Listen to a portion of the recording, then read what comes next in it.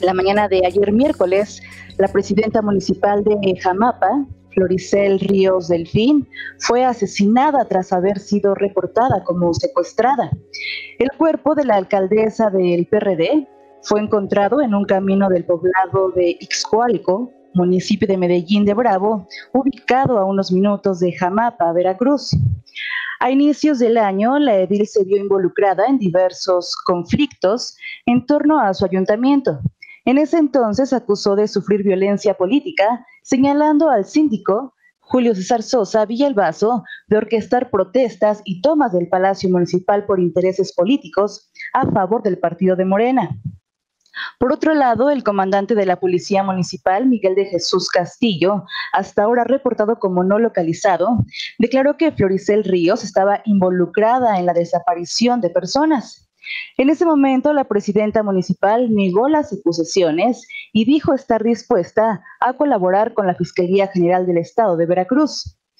Asimismo, el gobernador Huitláhuac García señaló que la policía municipal estaba vinculada con la delincuencia organizada y lamentablemente, como le comentaba, ayer apareció muerta. Floricel Ríos Delfín, alcaldesa de Jamapa, Veracruz, quien fue asesinada este miércoles, ya había solicitado ayuda a Eric Cisneros, quien es el secretario del gobierno del estado de Veracruz, ante el temor de sufrir algún ataque según publica el día de hoy el diario Reforma.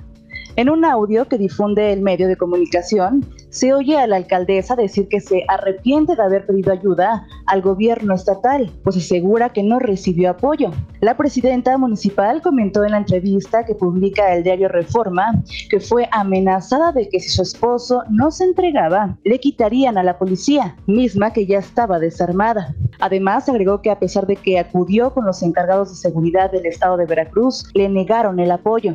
La edil informó en la entrevista que por la situación en la que se encontraba, temía por la seguridad de su familia. Escuchemos. Tengo que ver, en este momento no tengo presupuesto, tengo un presupuesto muy, muy, muy poco para poderle pagar a alguien que, que, me resguarde. Y no son, no ahorita en este tema ya lo, lo vi, Dice, el tema de Jamapa está complicado y, no, no, no te van a, querer eh, trabajar por, por menos, ¿no? Ese fue el tema por el que yo me dirigí a hablar con, con el secretario de gobierno ayer. Y de, este, me arrepiento enormemente, se los digo ahora sí que eh, de frente, me arrepiento porque la manera como me trató el Señor, creo que, que como mujer no lo merecía. Yo me acerqué, me acerqué a él, cuando él me vio me dijo, te quiero decir que estás mal. No me dio ni, me saludó. Me dijo, te quiero decir que estás mal. Tu municipio está mal.